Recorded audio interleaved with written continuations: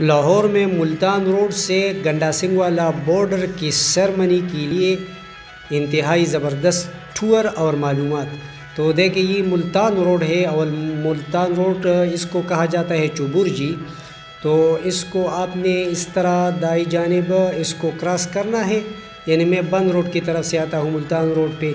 तो अब मैंने मुल्तान रोड को दाई जानब क्रॉस करके इस सड़क को क्रॉस किया और अब बाई जानब ये सड़क नज़र आती है तो इसका नाम है फ़ेरोज़ रोड, क्योंकि Ferozepur road sorry Ferozepur road, क्योंकि फ़ेरोज़पुर जो है, जिस तरह हमारे यहाँ कसूर का शहर है तो सरहद पर जो है इंडिया का शहर, उस फासले पर फ़ेरोज़पुर है। तो ये रोड सीधा जो है, उस शहर को जाता है, इंडिया को तो इसलिए इसको फ़ेरोज़पुर रोड कहा जाता है।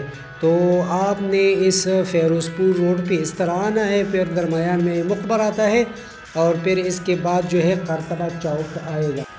अब मैं पहुँच चुका हूँ करतबा चौक तो आपने इस तरह बाई जानब मोड़ना है। ये सामने मेट्रो बस है, मेट्रो ट्रेन वाली नहीं है, ये मेट्रो बस वाले ट्रैक है। ये जहन में रखे ये ऊपर जो फ्लाई ओवर है, ये मेट्रो बस वाली है, जो कि शादरा से गजूमता तक जाती है। तो अब इस पे मैं इस तरह दाई जानब मोड़ता हूँ। आपको जो हिदायत मैं देता हूँ तो आपने उनको फॉलो करना है। तो इस तरह मैं इस पे मोड़ता हूँ और फिर जो है, इसके बाद मुझे इधर उधर मोड़ना नहीं है। बस यहाँ से सीधा ये सड़क जो है गंडा सिंह वाला बॉर्डर को क्रॉस करके फ़िरोज़पुर को जाती है और ये कहीं और नहीं मुड़ती। इसके साथ अगरचे दाई बाई जानब से बहुत से लिंक रोड्स मिलती है, लेकिन ये सीधा जो है गंडा सिंह वाला बॉर्डर को क्रॉस करके इंडिया के शहर फ़िरोज़पुर जाती है और जब पाकिस्तान और इंडिया के ताल्लुक़ अच्छे थे तो इस रोड को तिजारत के लिए और आमदरफ्त के लिए इस्तेमाल की जाती थी, लेकिन अब चूँकि बंद है तो लोग सिर्फ़ गंडा सिंह वाला बॉर्डर पे जो रोज़ाना सेरमनी होती है, उसको अटेंड करने के लिए बड़े तादाद में लोग जाते हैं और इतवार के दिन बहुत ज़्यादा रश होता है, बहुत बड़ा मज़ा आता है। तो आज मैं आपको यानी रूट दिखाता हूँ कि आप आसानी के साथ जाए। तो अब जो है ना, इसके बाद ये ऊपर जो मेट्रो बस वाले ट्रैक है ये गजुमता तक तो जाती है मेट्रो बस। फिर मेट्रो बस जो है, वो वहाँ जो है, उसके आखिरी स्टॉप है।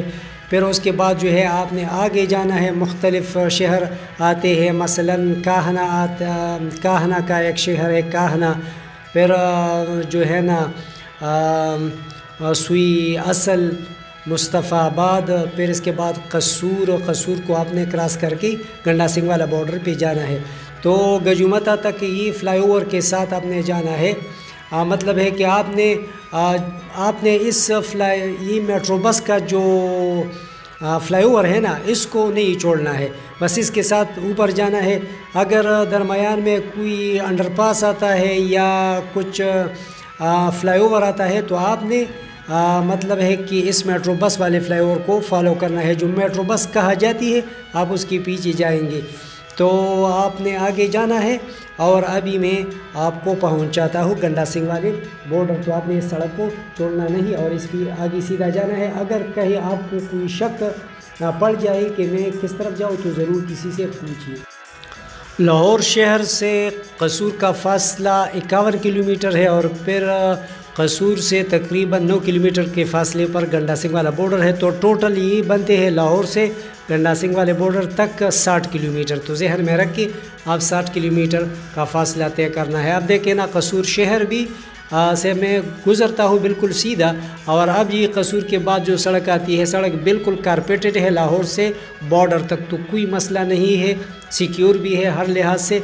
तो आप इसको न सिर्फ़ ये कि इंजॉय कर सकते हैं, बल्कि इस सरमनी में शिरकत के बहुत मज़ा उठा सकते हैं और बहुत खूबसूरत जगह है, इलाके भी है और एक यादगार टूर आपका रहेगा। तो ये है गंडा सिंगा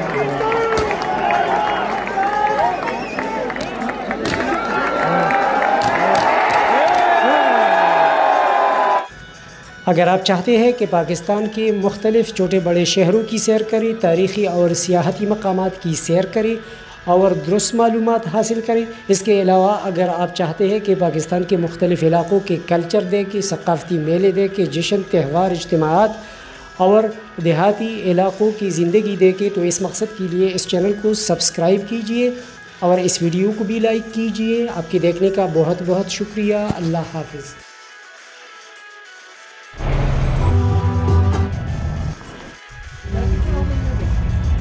ये देखिए ये चुबुर